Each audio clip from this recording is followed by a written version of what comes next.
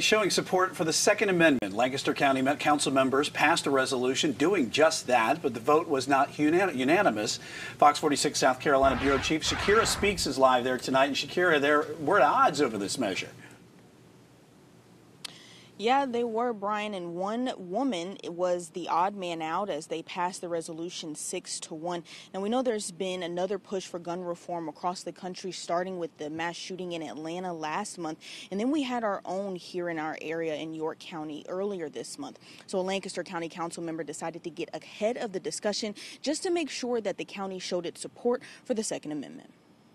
And all in favor, raise your right hand. With a show of hands, Opposed? The Lancaster County Council passed a resolution supporting the Second Amendment, and according to the resolution, it's a fundamental right that should be protected to the greatest degree possible. And This is largely a statement of support from county council for Second Amendment rights and does not overstep any bounds as far as directing people to have authorities that they do not have under our three co-equal branches. Councilman Allen Blackmon was the one who brought it to the council. But I believe it's the right thing to do. I, I believe my constituents that brought it to me had nothing but the best of intentions.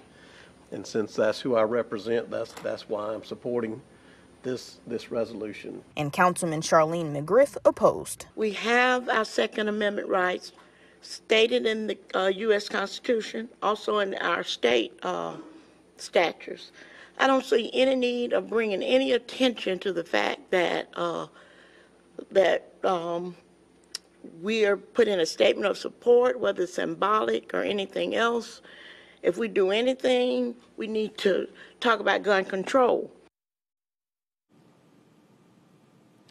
So when councils generally do a formal action, it's by resolution. So it's just one reading and it doesn't hold the weight of an ordinance, but it is a motion that this is the consensus of council on a particular issue. Brian. It is a very polarizing issue on this subject, and Shakira Speaks live in South Carolina for us tonight. Thank you.